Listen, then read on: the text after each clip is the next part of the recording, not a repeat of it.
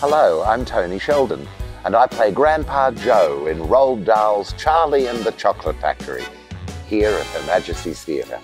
Major theatre, sporting and cultural events are what make Melbourne so special. But many theatre and event lovers are getting fed up with being ripped off by ticket scalpers. So, next time you're purchasing tickets to a declared major event, like Charlie and the Chocolate Factory, be sure to buy from the official ticket seller to ensure you don't get ripped off. Our official ticket seller is Ticketek. If you're buying a second-hand ticket, you shouldn't pay more than 10% above the original purchase price. See you at the factory.